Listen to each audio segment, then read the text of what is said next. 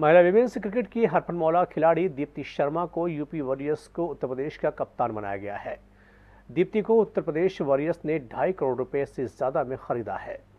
आगरा की बेटी दीप्ति शर्मा को एक और उपलब्धि हासिल हुई है। महिला क्रिकेटर दीप्ति शर्मा को उत्तर प्रदेश वॉरियर्स की टीम ने उप कप्तान बनाया है। बताया गया कि दीप्ति महिला क्रिकेट विश्व कप खेलने के लिए साउथ अफ्रीका, केप टाउन गई थी। दूसरी तरफ़ बीसीसीआई आईपीए की तर्ज पर महिलाओं के लिए भी टी लीग कराने जा रही। है इस महिला लीग में दीप्ति शर्मा को उनके प्रदर्शन के आधार पर देश में दूसरे नंबर की सबसे ज़्यादा दो करोड़ साठ लाख रुपए की बोली लगी है। दीप्ति शर्मा अपनी बल्लेबाजी और गेंदबाजी दोनों से ही जौहर दिखाती है। आगरा की बेटी दीप्ति शर्मा को उत्तर प्रदेश वॉरियर्स ने उपकप्तान घोषित किया है। वुमेन्स प्रीमियर लीग में दीप्ति का जलवा फिर दिखेगा। सी न्यूज़ के लिए विनोद जूनियर की रिपोर्ट।